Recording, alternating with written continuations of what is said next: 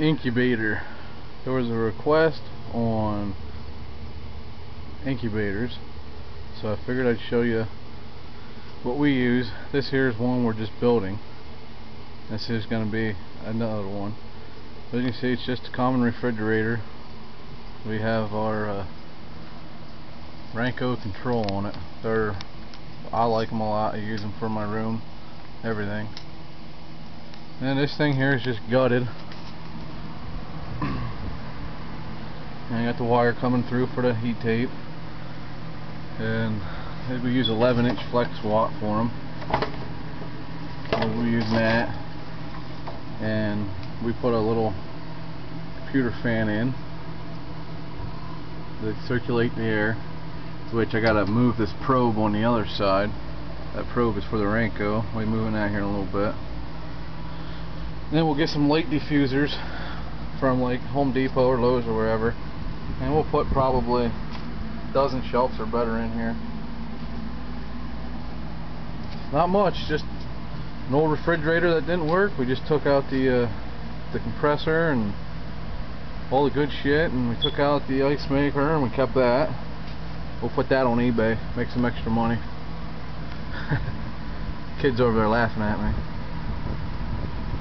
But it's nothing to them man. It's all cake and pie. This thing here cost me about I don't know the controller I got off eBay I buy all of my shit off eBay this thing here cost me I think it was 40 bucks then the cord which I can't tell you where I got that from, but I already got it from Walmart. Yeah, we just spliced her in. That's the probe and the flex watt. Watch eBay because you can find great prices on that off eBay. I got I think 20 feet for like 10 bucks, and anybody that uses the 11 inch flex watt, they know they know it's a hell of a deal. The refrigerator cost me nothing. You know, friend gave it to me, he didn't want it.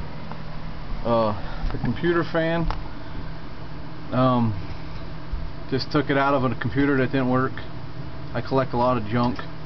You know, if there's any value to it, then we use them for what parts we can use, and the rest of them we scrap. And we'll just wire that up and punch it through the side, and you see that's almost a perfect fit right there. So that'll pull the air through that hole and blow her out around here, or vice versa you know and if I get bored maybe I'll wire another one up on the bottom or something put them on a timer and these these things here they usually run they'll stay constant about 88 to 89 I incubate at 88 degrees a lot of people do 89 but I, I like mine at 88 I feel better. But yeah. See? It's just a plain Jane refrigerator. Don't know how to show you. A couple basic tools, a drill, a couple more drills, some drill bits and some screws. And when I get her all done, fired up and working, and get some uh, digital thermostats in there, or not thermostats, the hell do you call them? You all know what I'm talking about. temperature gauge, whatever. Um, and I'll put another video up on the finished product. And of course, when I start getting eggs next year as I throw them in here in their uh, in their shoe boxes or you know the next size up box we use Sterlite Sterlite boxes and Hatch-Rite I highly recommend a Hatch-Rite there's no pissing around with mixing it and you just dump it right out of the bag into your container. Put your eggs in. Put her put her in your incubator. You know, I pop my lids every two days just to get a little extra air flowing. But, yep, that's all you need.